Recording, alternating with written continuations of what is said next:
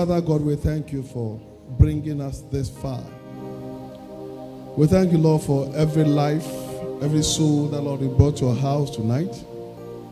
And we thank you more especially for your presence with us here tonight.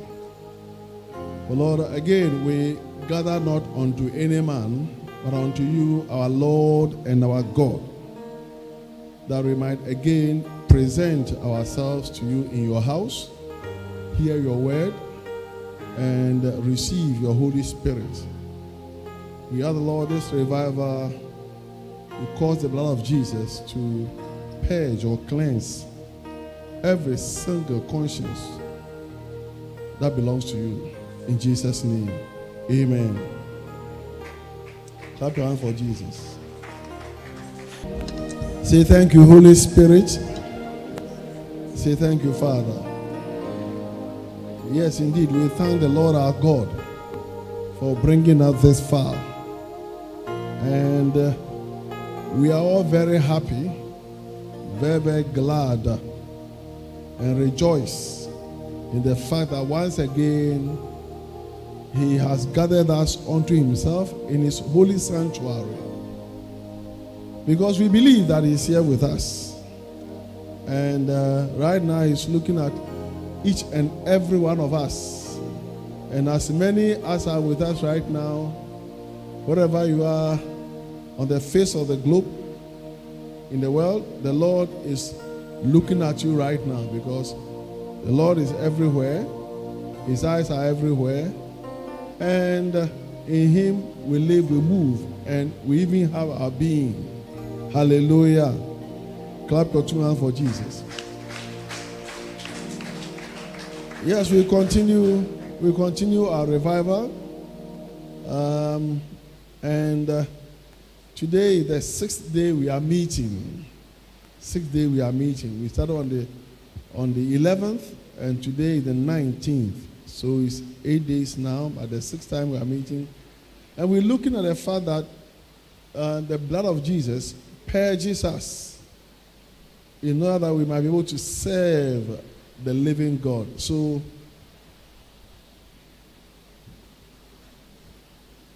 purging our conscience. The theme is purging or cleansing our conscience to serve the living God. Purging or cleansing our souls, our conscience, so that we'll be able to serve the living God. And we've come very far. Today we're looking at the title uh, of coming, sorry, confidence to come to God. We're looking at confidence, having the confidence to come to God. Confidence to come to God. Confidence to come to God. And the text is taken from the book of Hebrews again. Hebrews chapter 10, 19 to 25. Confidence to come to God. And the text is Hebrews 10, 19 to 25.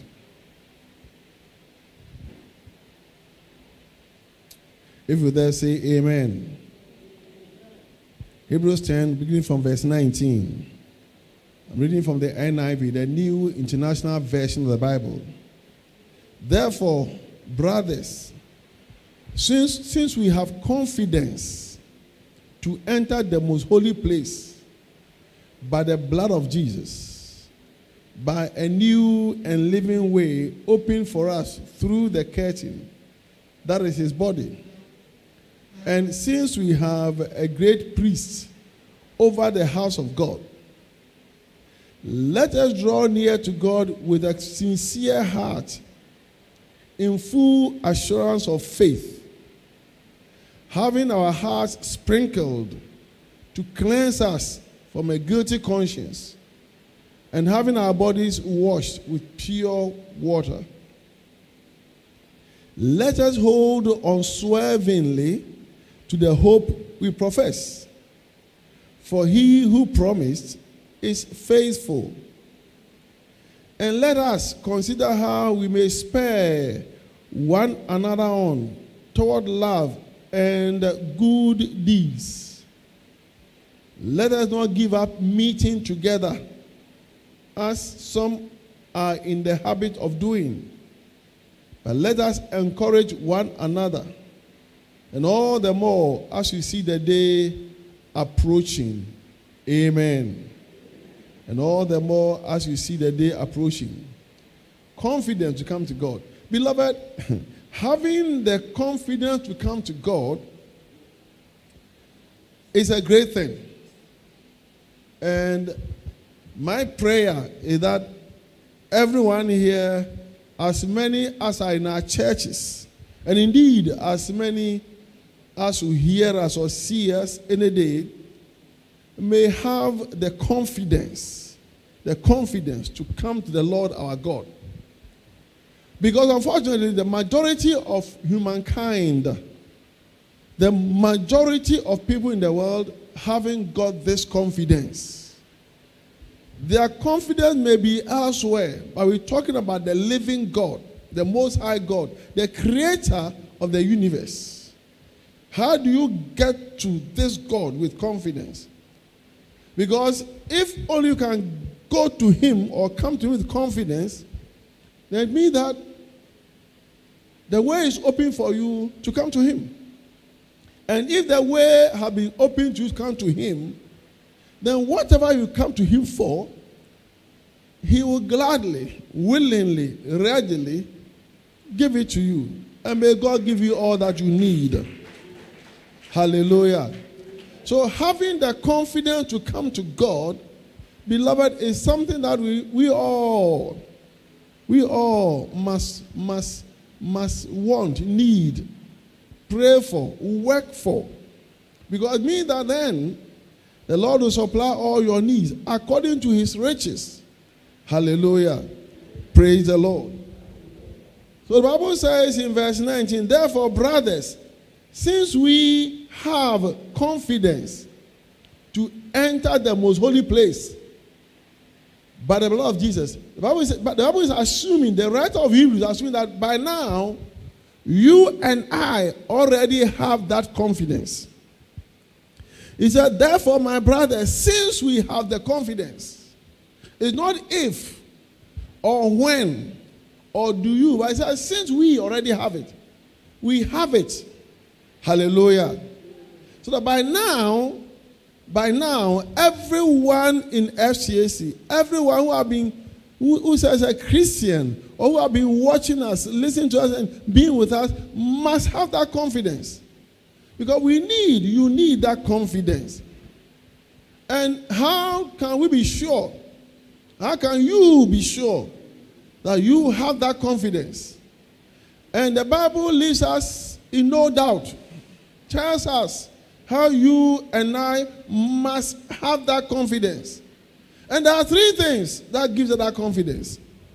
There are three things. He said, since we have confidence to enter the most holy place by the blood of Jesus, by a new and living way open for us through the curtain that is his body. And since we have a great priest over the house of God, Three things that when they are fulfilled, then you and I must have that confidence. Number one, the Bible talks about the blood of Jesus. Since we have confidence to enter the most holy place, we know the most holy place where God is. That, that's God's presence. The most holy place first, God's presence. One, by the blood of Jesus. By the blood of Jesus. Now, the fact is that the blood of Jesus has been shed. He shed his blood on the cross of Calvary. We know this is something that is in doubt. It's not something that is in doubt. It's not something that is being waited for. It has already happened. It's something that we have received. And we, we know that this blood is able to cleanse or purge our souls. So, so that things acts that lead to death are washed out of her. They are cleansed out of our souls. Praise the Lord. Hallelujah. Beloved, so if you hear with me or hearing us from anywhere today or thereafter, once you believe that the blood of Jesus have been shed for us to purge mankind, to serve as a ransom, to mediate the new covenant, once you know that, then the first condition has been fulfilled. The number one condition has been fulfilled. And church, if you agree with me, say yes. yes. Say a bigger yes. yes. Clap your hand for Jesus. Then he says, uh, by a new and living way open for us through the curtain, that is his body. By a new and living way open for us through Jesus. Now, we have been hearing that in the Old Testament days, they used to go to God by an old and unsatisfactory way. An old way, elaborate way, complicated way that was not even satisfactory. It was not even, even able to achieve or guarantee or grant them what they needed. That was the old way. And only one man, the high priest, was allowed into the presence of God and only once a year after he himself had met several requirements. And if he failed to meet one, then he was a dead man. He was as good as dead. But Christ came, and we know Christ came. We all know that Christ came. He died. And he opened a new and living way. A new and living way. So that now, the evidence is that we don't have to go through the Old Testament way or system by which they went to the most holy place. No. So that you and I, right now, we are in the sanctuary of God. We are right now in the most holy place. You didn't have to go through any ritualistic ceremonies. You didn't have to go through the washing of your clothes, burning of incense, sacrifice of sacrificing animals. You didn't have to bring any blood of bulls and goats with you. And yet, yet you are right now in the presence of God in the most holy place. Hallelujah. So definitely, this is a new and living way. The old way was a dead way. And the people were not even cleansed. But now, this, this new way is a living way. And if you agree with that, then church, say amen to that. Then clap your hands for Jesus. The Bible therefore said that, and we also have a great priest. You see, we have a great priest. Number three, the third condition, the third condition is that we have a great priest. And 21 says, and since we have a great priest over the house of God, we have a great priest over the house of God. In the old system, or in the Old Testament system, they had a high priest who was in charge of the ceremonial rituals. And he did everything. He went to God, Holy of Holies, and then came back and reported to the Israelites, the Jews. But right now, the Bible says the church, the church is the body of Jesus. Jesus is the head of the church. Hallelujah. Praise the Lord. So that we don't even we don't now have a high priest like the old days, in the olden days or Old Testament days, but we have a high priest who is Jesus himself. He is Jesus himself. And he is always where his children gather together. You may not see him with your naked eyes, but as many as are filled with the Holy Spirit, you can feel His presence, you can see His presence, and He always gives us evidence of His presence. In that He has given us His Spirit, the Holy Spirit, by which we cry out, Abba, Father. Shall I say Amen? So we have evidence that Jesus is now the great priest and he is over the church. He is the head of the church. So he is over the house of God. Pastors are all under shepherds, they are leaders.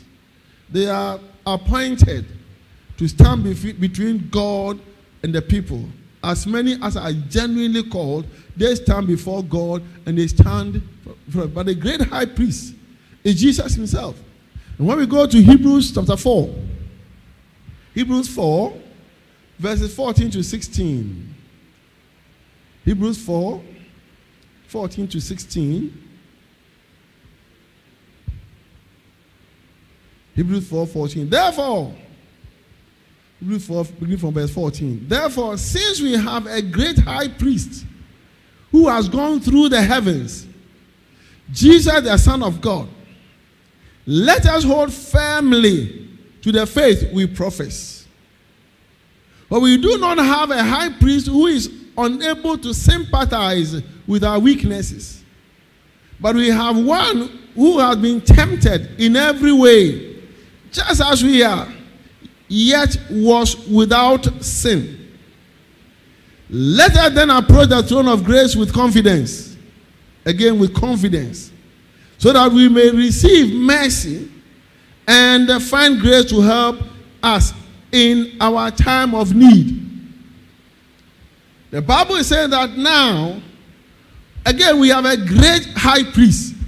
And this high priest is Jesus himself. And he has passed through the heavens. You know, when, when he ascended to heaven, he passed through the three that he passed through the three heavens. We have, you know, the first heaven, second heaven, and third heaven. You know all that. He passed through the heavens. The first heaven, second heaven, the third heaven. Third heaven is what you call what you call heaven, where uh, the where the, the, the, the dwelling place of God. So he has been here. He knows what is here, what is here. He's been through it. He has seen and tasted every temptation. He has seen every hardship, every difficulty, every challenge that any human being can ever go through. He has seen it all. He knows it all. Hallelujah. So your situation is nothing new to him. Your situation is nothing new to him. And you are not the only brother or sister in the world right now in that situation. You may not be, in fact, not may, you are certainly not the only brother or sister in that situation right now at any time T in the world. You are not the only one. There could be thousands of believers, children of God, who are in the same situation as you are, whether they are blessings, there are others also being blessed the same way. And God waits, God wants you to see how each of you will handle that blessing. Hello? So if you handle your blessing in an ungodly manner, then God will not have any pleasure in you. Because all the others may have passed. Yes, from that blessing they have passed. But you may have failed in how you handled that blessing. Maybe you even forgot to thank God for that blessing. You forgot to thank. You took it for granted. You didn't thank Him. It is a challenge. You are not the only person facing that challenge, that difficulty, that adverse situation. There are millions of others. From the ages to now, what is happening to you now have been happening to millions of, of brothers and sisters. So, how you react, how you respond, Jesus knows it. And He will score you your marks according to your response. But may you all pass the test. May you all pass the test. Clap your two hands for Jesus. Therefore, he says that in that case, verse 16, let us then, let us then approach the throne of grace with confidence so that we may receive mercy and find grace to help us in our time of need. Beloved, these things are not fantasy. They are not abstracts. They are not fiction. They are real. One day, I will share a very big testimony with you, wherever you are. Because I was believing God for something great, something that looked impossible, something that appeared to be elusive, something that had been, you know, missing from some people. Though they've been pr- praying, yes, they have not been getting the answer. But I got to the point that whenever I come to God in prayer, whether congregational prayer or in personal prayer or private prayer, with all these facts in mind, I had full faith, 100% faith, that I was talking to God just like I'm talking to you. In the same way as you can hear the sound of my voice, I knew that God was hearing my voice. Praise the Lord. So I was talking to my father like face to face. Though I could not see him with naked eyes, I knew that he was with me, was listening. And each time I prayed that prayer, I knew my prayer had been heard. And that sooner or later, in fact, very soon, I shall receive the answer. And lo and behold, I received the answer. It was a miracle. A miracle. One day, I'll share that miracle with you. Praise the Lord. Confidence to come to God is what you all, we all must have. If we did not have it, have it from today. Have it from today. Approach the throne of grace with confidence. When you need mercy and when you need grace, mercy and grace. Hallelujah. Even when you have done something wrong, when you are in the wrong and you deserve to be punished, you can still go to your father and expect him to be merciful unto you. And may God show us all mercy. Hallelujah. Then, when God has forgiven you according to his tender mercies, and you are purged, you go to him with confidence, and then you ask for that thing by faith, and then by grace, he will give you that thing. In the name of Jesus. That if you agree with me, say amen. Hallelujah. Very, very soon, we are, we are going to be organizing, believing God, we're organizing uh, prayer trips to our Swedru church. The church is now being converted to a prayer and retreat center. Prayer and retreat. And uh, those who want to really want to come to God in confidence, we take a trip there. We, no, no, we, come, we get out of Tema, get out of Accra, get out of your homes, get out of your, your country, your family, your father's house. Praise the Lord. Out of your country, your family. And then we go there. Not for one month, just for about two days. Just about two days. We may not even fast. We do not have to fast. We go in there. So when you are out of your country, out of your family, from your father's house, and all that behind you, then the only person left before you now is God. Hallelujah. Clap your two hands for Jesus. So the, the, the writer of Hebrews says, Therefore, brothers, therefore, brothers, since we have confidence to enter the most holy place by the blood of Jesus, by a new and living way open for us through the curtain, that is his body. And since we have a great priest over the house of God, then some things must happen. So, as a result of this confidence, there are five exhortations, five encouragements, five points of encouragement, five points of advice that the book of Hebrews gives to you and to me. Hallelujah. And just pay attention carefully. There are five points here. Once you have that confidence, through the blood of Jesus, by the new and living way, and because we have a high priest, a great priest, at the head of the church now. And these things are yeah and amen. There's no doubt about these things. There's no question or, or argument about these things. Therefore, having got this, then there are so, some five things that we, you and I need to do. He says, Let her draw near. First thing he said, let her draw near. Hallelujah. That's verse um, 22. Let her draw near to God. Let her draw near to God with a sincere heart, in full assurance of faith, having our hearts sprinkled to cleanse us or purge us from a guilty conscience and having our bodies washed with pure, with pure blood. Faith is what we're talking about here. Faith. Let us draw near to God with a sincere heart, with full assurance of faith, when our hearts have been purged by the blood of Christ. Lord, when you go to God with confidence, when you approach your God with confidence, how do you go about it? Do you go to Him like you're going to any human being? Because you want to go to a friend, you, you go to a, even a family member, your father or, or mother, with your request, your prayer. You may not necessarily receive it. You may say, Oh, I don't have it. Your human parents, brother or sister, or even close friend may say, I don't have it. I don't have it.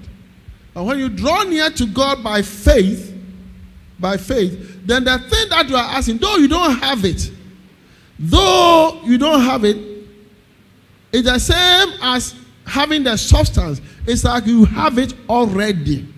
Praise the Lord. Hallelujah. It's like you have it already. And just I've been saying that faith, faith always has a foundation. Faith doesn't hang in the vacuum. Otherwise, you not have faith. What God had told you from His Word, the Word of God, the evidence of His presence, the manifestation of His power, things that you have experienced, give you that faith. Give you that faith. Without the Word of God, without the experience of the Holy Spirit, without feeling God in your own life, you may not even have little faith. Church, may you all, all have great faith. May you all have great faith. Hallelujah. Clap your two hands for Jesus. When you have faith and you go to God, full assurance, there's a fullness of assurance that you know that what you are going to ask for, though you have not received it, you have it already. You have it already. And church, may you have it already in your hands. If you cannot draw near to God with a sincere heart, with full assurance of faith, amen. Number two, he said, Let us hold unswervingly to the hope we profess. Hope. First one is faith, now hope. Let us hold. Let us hold, verse 23, unswervingly, unwaveringly, to the hope we profess. For he who promised is faithful. Why? Because he, God who has promised, is faithful. Let us hold unswerving. In other words, gyidie na wanya wɔ awurade mu no gyidie na wanya nyame a ɔso no the god the god that you say you are serving worshiping you must hold that hope hope because our worship of god our service of god is all because we are hoping for something some things here on earth and after this life, even greater things. Hallelujah. We are not serving God like punching in the air. We don't talk into the air. Everything we do is based on faith and hope. So he said, you prefer to have that faith, if you say you have that hope, the hope of things here in, in this life and the hope of heaven, if only you profess, you are saying you have it, you have, the, you have that hope, you have it. If you have it, if you generally have it, then you must hold unswervingly. You shouldn't shake, you shouldn't, you shouldn't falter, you shouldn't sway. You shouldn't, you shouldn't uh, linger. You must be firm and steadfast.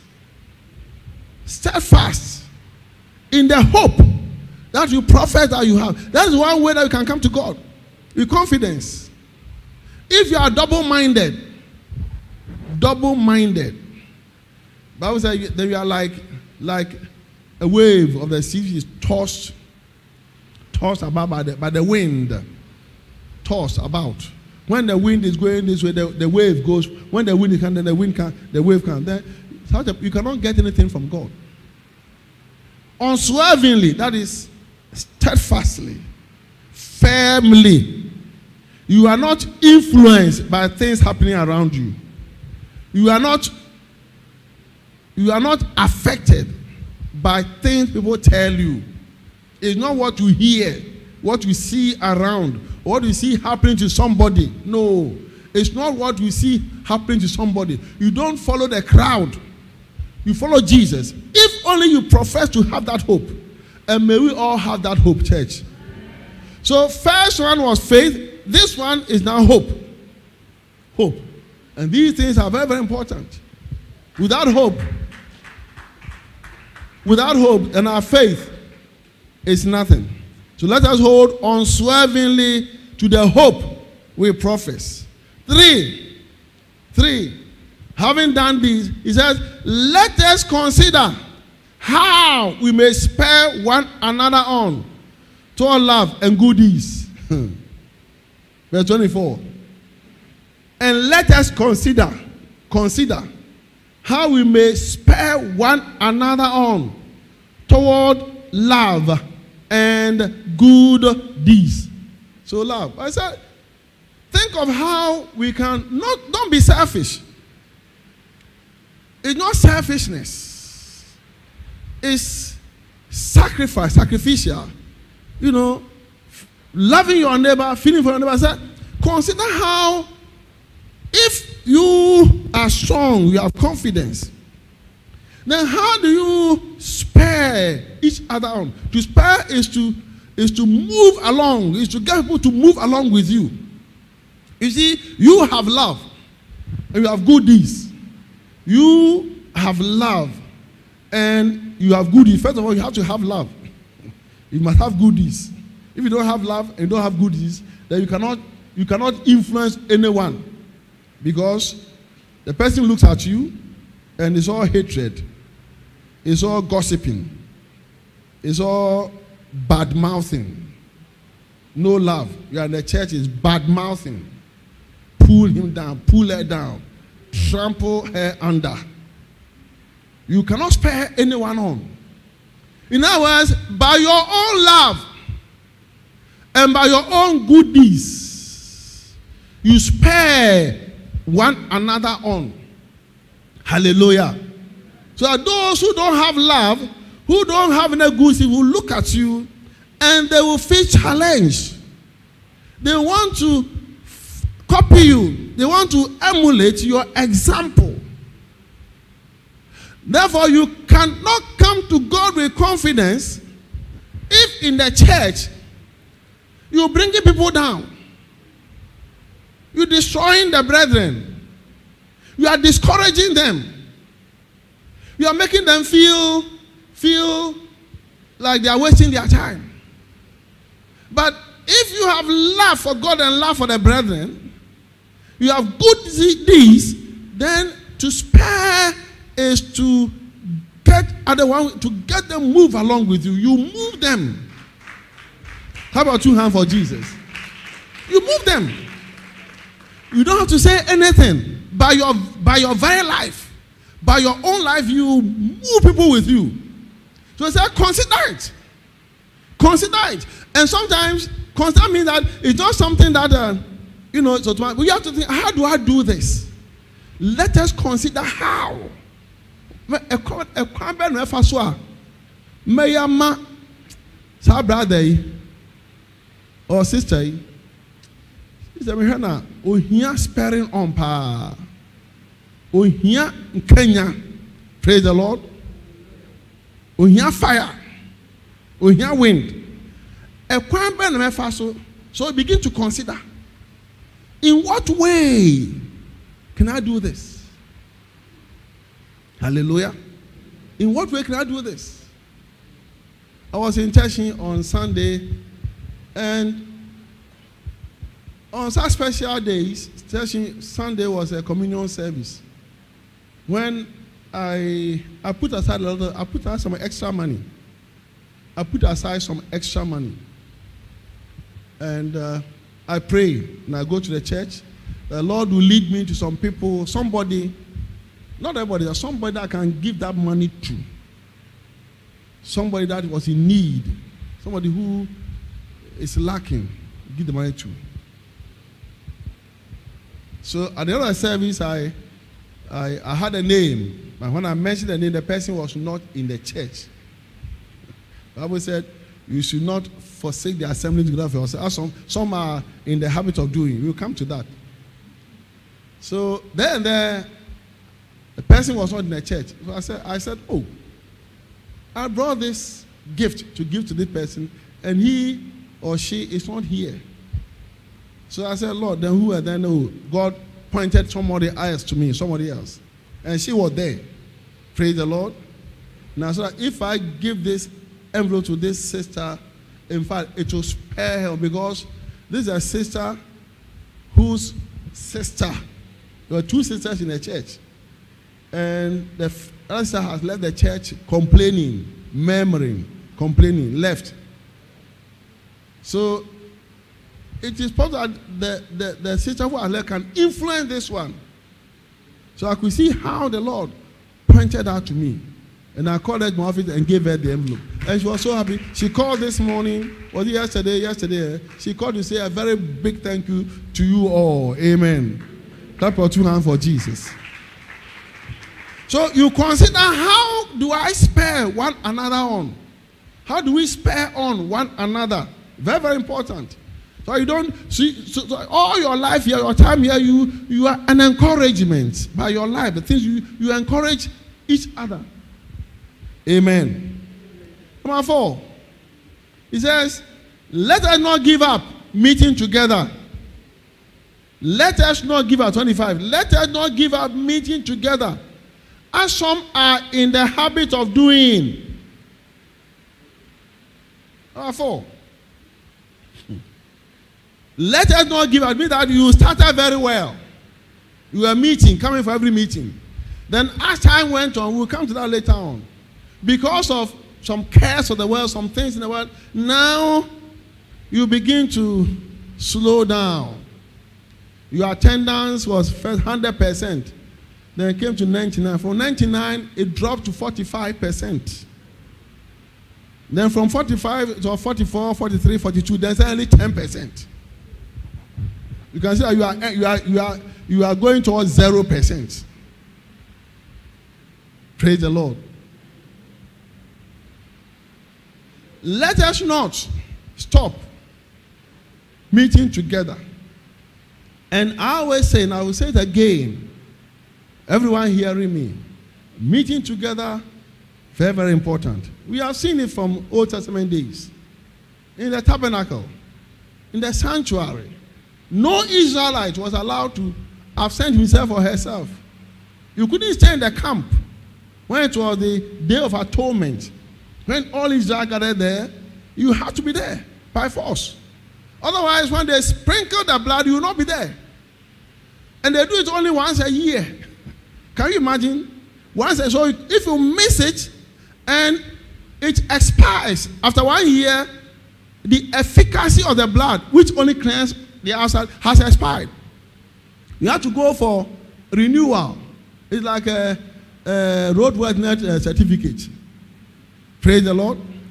And if you miss it, that means that the rest of that whole year you were unclean, and God will see you. You are unclean. And you cannot go before God. You, there are some things you cannot do.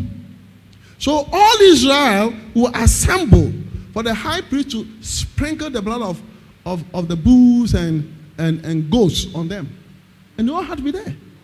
And they all be there to see the high priest come out and bring a message, blessing from the Holy of Holies, from the most holy place. So you couldn't miss it. So it is now. It is now even better. Better. This new and living way is by far better. And therefore, when you don't come, when you absent yourself without any good reason, then you can judge for yourself how you stand in the eyes of God, how God sees you. And for that reason, you cannot therefore then have the full assurance of faith to go to God. You cannot. I've told that when I was in Bible school for two years, two years, I stopped work as a doctor. When God called me for two years, I stopped work as a doctor. And every morning, I'll drive out of my house. Where to? To attend Bible school. Where we pray, study the Bible, analyze the Bible, you know, exams. That's all we then pray. That's what we did. And I never miss one day. All the two years, I never miss one day. Most of the students miss many days. Miss many days. Some of them will come only once a week. Once a week. They will come late and leave early. They took the whole thing as, as something casual. But I never miss one day. Never, not one day. Praise the Lord. Because I knew that I had to assemble before God with the brethren. And two weeks before we graduated, after two years, the Lord said clearly in a prophetic utterance, do this when you graduate. When you graduate, you must all wait on me for three days. Fast six to six. Three days, wait on me. And I'll tell each and every one of you the ministry that I've called you to, into. Where's your Antokwa? Is there any argument about this? We were 35 in the class. 35. When the day came, I organized the meetings. The first day, we were 13. 22 were absent. 22 didn't come. By the third day, we were down to nine. nine. So you see how Jesus said that the disciples should not depart from Jerusalem? They should wait until they receive the Holy Ghost. 500 people, and when day came, there uh, only 120 left. It had been happening. It had been happening. 120 were in the upper room when the Holy Spirit arrived. The remaining 380 were nowhere to be found. They all have excuses, but they didn't receive the Holy Ghost. But they did not. And the nine of us, church, uh, believe me, all of us received direction. We all received direction. Hallelujah.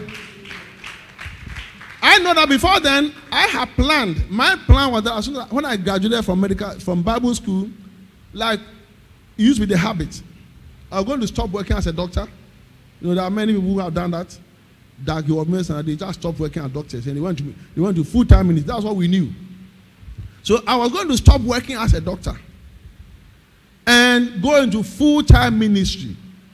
That was when the Lord said, Dr. Edwards. The Lord called me by name. Said, I made you a doctor. I made you to be a doctor. I said, Yes, I am. But when I look at the, some exams that I passed, I couldn't have passed the exams. Continue to work as a doctor, and I'll give you grace the grace to also work as a pastor. Be my servant. Hallelujah. Praise the Lord. Those who didn't come, not long after, they were no longer in ministry. Those who were not there, we didn't hear them. One of them I, I heard was selling Lotto at uh, Accra New Town. He was in a Lotto kiosk. After two years in Bible school, he was selling Lotto in a kiosk. There was one of one of the nine who was was with us. I remember his name. He was good at attending uh, crusades. He was fond of attending crusades. When he hears of a uh, uh, uh, coming, he'll be there. When he hears of uh, uh, who else, uh, uh, Lauren Tete, he'll be there. Attending big, big, big crusades. And he will come to school. So he will come to school after one week. Hey, I went to um, Ampia Coffee Crusade, you know.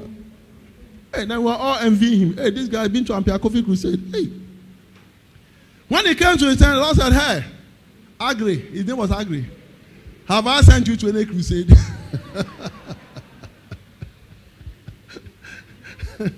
Did I send you to attend a crusade? Have you noticed that when you go, this is what the Lord said. Have you seen that when you go, they never gave you even one CD? He said, Hey, so Agri said, I'm going now, Boka. We thought you going because he was good with instruments. You know, he was good with uh, well, the electrical is in set, you know, fixing the instruments, technical team, mixers. It was excellent. God said, I have not sent you there. That's why when each time you went, they didn't give you anything. Because so stop going there. Then no, Lord said, Lord said, you alone, when we finish three days, continue for another three days before I tell you what to do. Hallelujah. So, church, it's when you come together with the brethren like we are doing now. That's when things happen. Yeah, things happen to others, but if you want things really to happen to you, really, in the Holy of Holies, then do not forget. Do not refuse. Don't absent yourself from a gathering together. Whenever the church is meeting, at all costs, be here with us. Church, clap your hand for Jesus. So let us don't give up meeting together. The Bible says, as some are in the habit of doing, it has been happening. As some are in the habit of, it has become a habit of others. It has become a habit. Oba na, mako na deɛ, na next week mefa free. Even though there was nothing, mako na, I mean, I'm free. Hallelujah. Once I've been here today, uh, tomorrow I'll take it free. My off day. In other words, fellowship. Fellowship is very, very, very important. Praise the Lord. Hallelujah. And then finally, he said, Let us encourage one another. Let us encourage one another. And all the more as you see the day approaching. Encouragement means restoration. We talk, we talk about sparing one another on. Different from encouragement. Encouraging is when you see your brother or your sister weakening, backsliding. Why am For some reason. The person who sits next to you, you know him, you know her. He or she sits next to you. Then for two, three weeks, you don't see him, you don't see her. What do you do? Do you just come, receive your, or, for, your, for yourself, and then go away? You don't care whether he or she comes? You must find out what is going on in his life or her life. And then encourage the person. If the person is backsliding, weakening, losing his or her faith, sad, depressed, going through some challenge, serious challenge, persecution, or even sick. Person is sick. It is your duty to find out. Let us encourage one another. Up to restoration. Restoration. So you restore that person. Don't just come and look at me, listen to me, dance, sing, you know, and then go away fulfilled. But what about what about your neighbor? You must love your neighbor as yourself. And you restore, encourage that person to restoration. So you restore the person back. You restore the person back. If it's something that is missing the person's life, let the church know. Let us know. Oh, this brother who sits next to me, I'm, I'm quite, I'm told he's very sick, very ill. We will call and go and visit, pray for him or for her. Then, eh, then the person will feel encouraged. When he or she has come been restored come amongst us, he or she will feel very encouraged. No, now the church loves him, the church loves her. Praise the Lord. Hallelujah. Especially as you see the day approaching. Church, every day that passes by takes us one day closer. Every day that passes by, that you spend, that you chop, takes you one day closer to the day of judgment. Even if you do not live to see that day, It's still the same. It's still the same. Because see, Bible said that it is appointed, destined unto man to die once. And then after that, judgment. So, you know, from the time that you fall asleep, or I fall asleep, to the judgment day, it's as if it's only one second.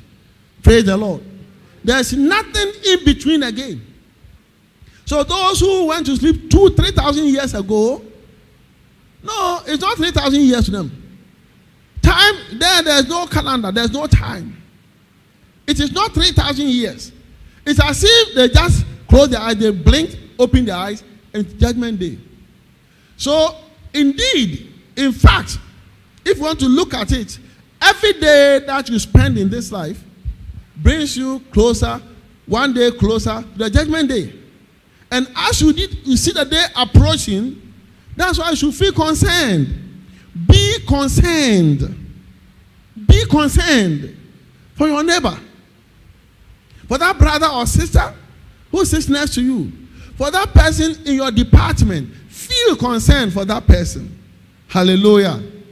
As you see the day, unless you are not thinking of the day, unless you are not thinking of any day, and as a Christian, you must think of that day. It's approaching. Early in my ministry, I was doing deliverance, and uh, I was casting out this demon. The demon was talking about uh, that day. That day, the demon was saying that day how they will suffer on that. So I said, what day? It couldn't even mention the day. What day are you talking about? I knew it. I was talking about judgment. He said, that day. You all, you all know that day. That day is coming. The demon said, we know that day is coming. And we are terrified. We are terrified of that day. I said, What day? Said, I cannot mention it because the mention of that day, the thought of that day is so terrifying, so horrible to Satan's kingdom they don't want to mention it. They don't want to mention it. So I said, What day? Said, I mean to me, What day? I will say it. But you know that day. You know that I'm talking about. That day is coming. I knew it. But they could not just open their mouth to say it.